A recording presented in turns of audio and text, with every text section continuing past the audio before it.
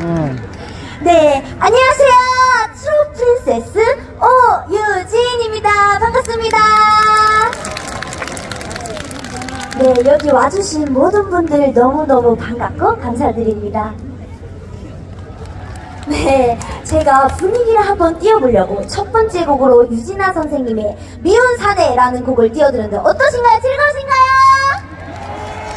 네, 감사합니다. 바로 마지막 곡 들려드릴 건데 마지막 곡은 느린 노래를 준비했습니다. 김용임 선생님의 헐헐헐이라는 곡 띄워드리겠습니다. 박수 많이 쳐주세요. 감사합니다.